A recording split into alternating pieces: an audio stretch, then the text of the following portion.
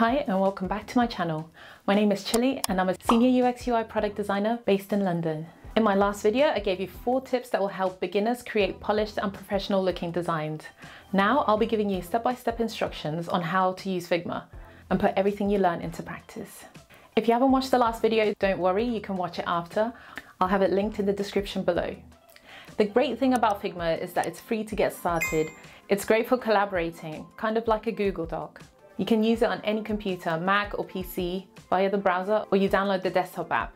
Just go to figma.com to get started. Just go to figma.com to create an account, or you can sign up using your Gmail. So this is the final design that we'll be creating. This is the wireframe I started with. Let me show you how I did it. First, we have to create a frame. You can do this in the top left corner, or you can press F on your keyboard.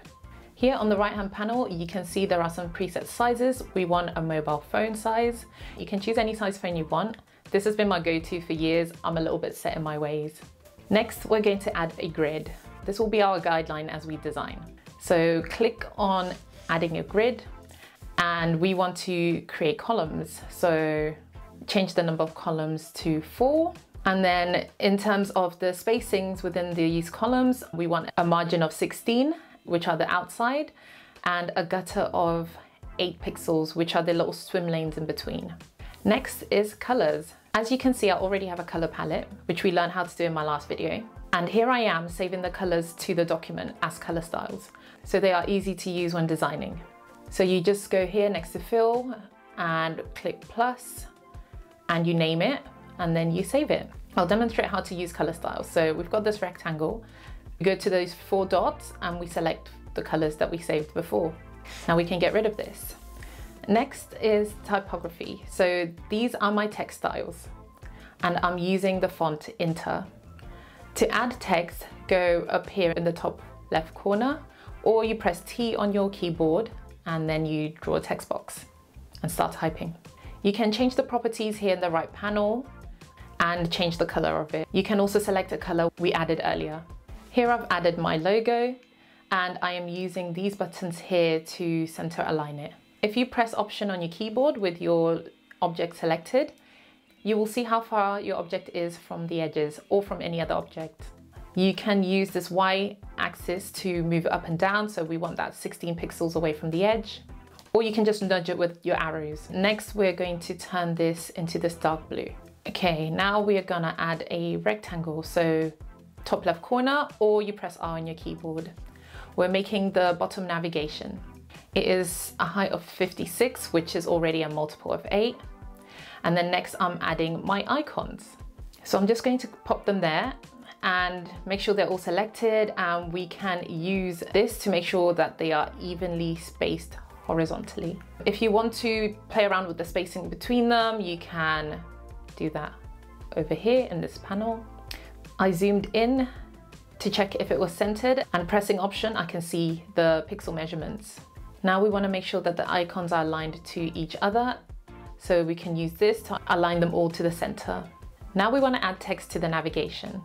So we want it small so we are going to go back to our text styles and use the properties for the caption size which is size 12 and we're going to space it to be 4 pixels you can use 4 pixels for smaller objects. And then I'm going to group it by selecting it and pressing Command G. Okay, let's center it to the background and check the spacing and it is 8 pixels below and above. Now we're going to duplicate the text by copying and pasting it.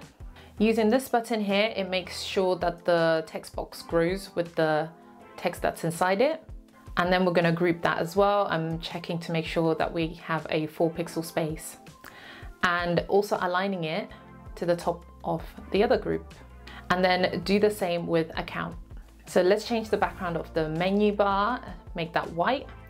And we wanna create a line. So we can do this by creating a drop shadow. So you go into effects, click plus, and it's created a drop shadow, but we can't see it because it's under here, it's outside of the frame. So let's change the settings to put the drop shadow above. So we're gonna make it zero and as you can see the line there and turn the blur down and there you go. Next, I want to make the grid gray so it's less distracting so I can see what I'm doing behind it. Let's change the background to blue. I just selected the frame and chose our saved blue using the panel. And here I'm adding a white card. I want to put the card behind the menu. So I select it, right hand click and send to back. I'm gonna use this rectangle over here to demonstrate rounding corners. You use this little button here. As you can see, all four corners are being rounded. But if you only want to round off like one or two corners, which you want to do with this card, you press this, which makes the corners independent of each other. And we are only going to round off the top corners and then turn that white. Now we're going to create tabs so the user can move between all the classes available and the classes that they've booked. So we added our text, duplicating that and changing that to booked. Now we are adding some color to show which page is being selected. We're gonna align this so it fits the width of two columns. As you can see, the box is above the text. What we're gonna do is right click the text and bring to front. You can also do this by moving the layers on the, on the panel on the left, where you move them up and down. Okay, now we want this a little bit. Let's change the height to 40 and align it again with both of those selected. And around the corners, align that, and then select move it into place, and then select the shape and make it light blue. I forgot to add color to the menus because these are grouped, which will make it harder to select the individual icons. If you press command as you are selecting, it lets you select through the group and only select one element. So we're gonna make those blue and then and red for the selected state. Okay, we're gonna add another rectangle, so press R on your keyboard. This is for the calendar dates. Gonna make that a bit longer and round off the corners. And then we're gonna add the text. I think I'm gonna make that less bold. And then we're gonna group those, all three of those elements, and then duplicate it. So you can do that by pressing Command D. If you hold Shift, it will make sure that it is it stays in line. So the one that is selected, we're gonna keep that bold, and the other one we're gonna turn it white with a light blue stroke and change the date. And then we're gonna duplicate that again, press Command D, and then hold it in place as you move it and keep it eight pixels apart. So now, if we keep pressing Command D, Figma is going to repeat your last action and then duplicate it in place. And then now all you have to do is go in and change the days, the dates. Next, we're gonna select all of these dates by just dragging across. As you can see, it's also selecting the card in the background and we don't want that to happen. So so we're gonna press shift and select that card to deselect it and group these up. But this time we're not going to use Command G for grouping. We're going to use an auto layout frame to group this. This is a smart way of grouping. So if you decided you don't actually want these spacings to be eight pixels and you wanted them to be 16, you just go and change it here in the auto layout properties. And right now they are laid horizontally. And if you wanted to change that, you just press this and there they are. Another thing you can do within this group, which is very smart, is that you can move things within it. Normally you would have to like remeasure all the spacing and move everything around. So you just drag whatever element you want and then move it and Figma moves everything else in place with the right spacing. Next, we're going to create filters. So again, Press R for rectangle and we're gonna round that off. Make white buttons with a light blue stroke and then add some text and a chevron icon for a drop down. I'm gonna resize that to 40, group all of these things and then duplicate it and change that text. Here I am checking the spaces between them and they are 16 pixels. So I'm creating a rectangle and aligning it to the grid and here is the image I want to use. We're gonna add, create another little rectangle and this will act as a stencil for our image. Make sure that the spacing of the rectangle is 16 pixels on all sides and let's just adjust that size. So we're gonna move the image on top by either bringing it to front or using the layers panel on the left. So if you select the image along with the rectangle and then right click, select use as mask, that turns the rectangle into a stencil. And you can do this for any shape. Make sure that these are in a group. This will happen automatically, but if it's not, just double check that because that will cause you a lot of issues. And here I've rounded the corners of the rectangle. I've just selected that and rounded those corners and then rounded the corners of the bigger card. And let's make that white.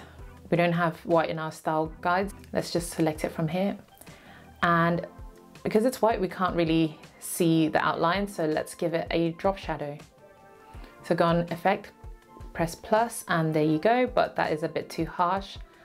And we want it to align with our colors. So let's select a blue Let's make the opacity 20%. And then I'm gonna play around with these effects until I'm happy with the drop shadow. So now onto text. These are the class details. Actually, we should have saved the text styles like we did the colors. This will make this so much quicker. So let's do that right now.